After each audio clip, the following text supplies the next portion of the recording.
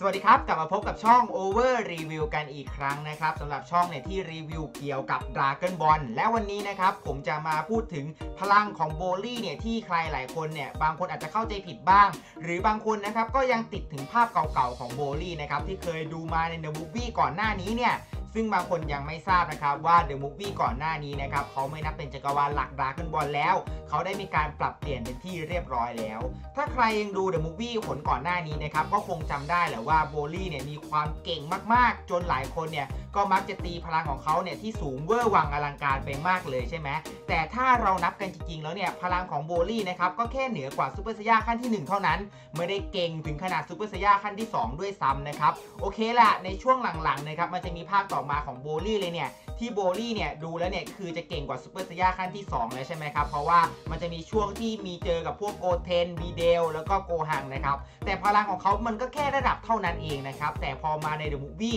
ครั้งนี้เลยเนี่ย ก็ยังมีบางคนค่อนขอดเลยว่า เฮ้ยโบลี่มันเก่งเกินไปหรือเปล่า หรือว่าอะไรยังไง แต่เราก็ต้องอย่าลืมนะครับว่ามันเป็นการ re จักรวาลใหม่เขาไม่นับหรอกครับว่าก่อนหน้านี้เนี่ยที่ว่าเราเคยดู The Movie มาเนี่ยว่าไอ้สองคนนี้โกคูหรือว่าเบจิต้าเนี่ยเคยเจอโบลี่มาแล้วนะครับเขานับใหม่หมดเลยก็คือทั้ง 3 คนนี้เนี่ยไม่เคยปะมือกัน หรือว่าไม่เคยเจอกันทั้งสิ้นนะครับจึงทำให้นะครับเกี่ยวกับเรื่องค่าพลังของโบลี่ที่มีมาก่อนหน้านี้ว่าโบลี่ค่าพลังเท่านี้เท่านูนนะครับถูกตัดทิ้งไปหมดเลยนะครับทฤษฎีอะไรต่างๆ ก่อนหน้านี้เนี่ยก็คือไม่นับหมดเลยนะ เรามาดูปัจจุบันดีกว่าว่าโบลี่เก่งเพียงไหน แน่นอนแหละว่าเดอะมูฟวี่มันยังไม่ฉายใช่ไหมครับ แต่ถ้าเราลองไปเจาะลึกเดียวตัวอย่างของเดอะมูฟวี่ดูเนี่ย เราก็จะพอจะทราบเลยครับว่าโบลี่เนี่ยมันโหดเวอร์วางงานลังการแค่ไหนนะครับ โดยเราสังเกตได้นะครับในตัวอย่าง The Movie นะครับก็คือตัวอย่างแรกเลยนะก็คือโบลี่ตอนที่ปะทะกับโกคูใช่ไหมครับ โดยโกคูเนี่ยใช้ร่าง Blue ในการสู้กับโบลี่นะครับ ซึ่งดูแล้วเนี่ยทั้งสองคนก็จะสูสีกันมากเลย หรือจะมีฉากนะครับที่โก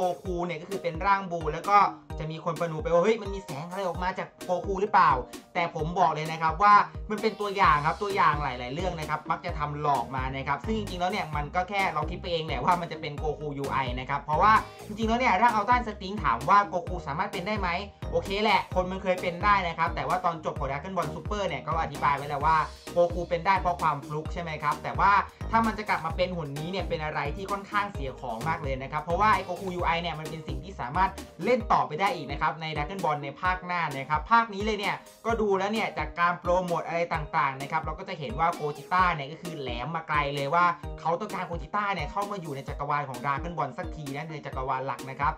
ซึ่งต่อให้โกจิต้าจะมาหรือไม่มานะครับ ผมรับประกันได้เลยว่าโบลี่ไม่มีทางเก่งกว่าร่าง UI อยู่แล้ว และโบลี่เนี่ยก็คงจะมีพลังที่อาจจะเหนือกว่าร่าง Blue นิดนึง หรือไม่อาจจะเทียบเท่ากับร่าง Blue นะครับ แต่ว่ามันจะมีกรณีอะไรพิเศษของโบลี่เลยเนี่ย ถ้าใครได้ดู Dragon Ball ก็จะทราบว่าไอ้ร่างของโบลี่เลยเนี่ย ถ้ายิ่งโกรธนะครับ พลังยิ่งสูงมากยิ่งขึ้นนะครับ และถ้าโกรธแบบโคตรแรงโกรธแบบไม่สามารถควบคุมตัวเองได้นะครับ พลังของเขาเนี่ยก็จะทำให้เขาตายก็ได้นะครับ แต่ว่า ใน Dragon Ball นะครับมันคงไม่ให้แบบว่าตัวละครอย่างโบลี่เนี่ยมาตายเพราะความง่อยของตัวเองขนาดนี้ใช่ไหมครับมันคงจะมีจุดอะไรสักอย่างที่สามารถทำให้อย่างนั้น และอย่าลืมนะครับว่าปัจจุบันดราก้อนบอลนะครับจุดขายเลยเนี่ยก็คือเขาทำมาเพื่อขายของนะครับเราจะเห็นว่า line figure อะไรต่างๆอย่างด้านหลังอะไรเงี้ยหรือต่างมากมายเนี่ยมันเปิดลายมาใหม่เยอะมากเลยนะครับการที่มีทั้งโกจิต้าเข้ามาโบลี่เข้ามานะครับหรืออะไรต่างๆเข้ามามากมายนะครับ เขาจะไม่ทำหรอ เพราะว่ามันสามารถขายของให้คนสามารถซื้อของเขาได้นะครับ จึงทำให้โอกาสที่โกจิต้าเนี่ยมาสูงมากเลย แต่ถามว่าโกจิต้าจะปิดศึกไหม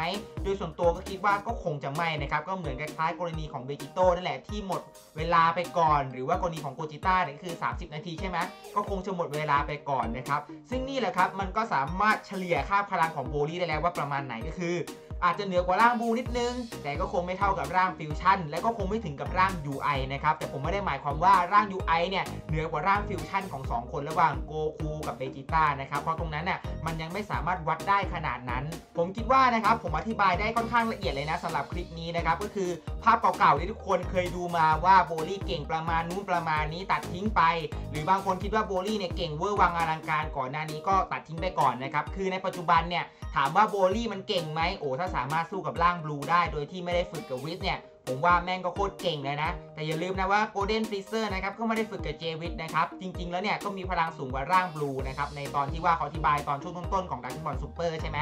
ซึ่งอันนั้นแหละครับ มันก็อาจจะเป็นข้อบ่งบอกได้ว่า ต่อให้คุณไปฝึกกับวิทย์ก็ตามทีเถอะแต่ว่าอาจจะมีคนเนี่ยที่ฝึกมาแล้วอาจจะมีพลังเหนือกว่าคุณก็ได้นะครับ แต่มันก็ยังมีแบบว่าจุดหนึ่งนะที่ผมรู้สึกว่ามันยังเป็นข้อบกพร่องของ Dragon Ball นะครับโอเคแหละผมอาจจะพูดชม Dragon Ball มาเยอะ แต่ถ้าจุดไหนนะครับเป็นข้อบกพร่องหรือว่าอาจจะเป็นสิ่งที่สามารถเราจับผิดได้นะจะเรียกว่าจับผิดหรือเปล่าก็เดี๋ยวดราม่ากันอีกแต่ว่ามันจะมีประเด็นที่ว่า คือก่อนหน้าเนี่ยก่อนที่จะมีการรวบรวมใช่ไหมศึก 12 จักรวาลเนี่ยจักรวาลที่ 7 เนี่ยทำไมไคโอชินเนี่ยถึงไม่เห็นโบลี่เลยครับว่าโบลี่อยู่ไหน แต่ว่าตรงนี้เนี่ยมันก็จะแถได้แหละครับว่าโบลี่อาจจะหลับใหลอยู่ ถูกแช่น้ำแข็งเหมือนกับกัปตันอเมริกาอยู่ก็ได้นะครับ เราต้องไปรอฟังเหตุผลตรงนั้น แต่ถ้าไม่มีการอธิบายตรงนี้ผมบอกเลยนะครับว่าเป็นจุดบกพร่องมากๆเลยนะครับแล้วทางทีมงานเนี่ยหรืออาจารย์โทริยามะเนี่ยไม่ควรจะปล่อยจุดนี้ไปเลยนะครับเพราะว่าเป็นรูโหว่ที่ค่อนข้างใหญ่เลย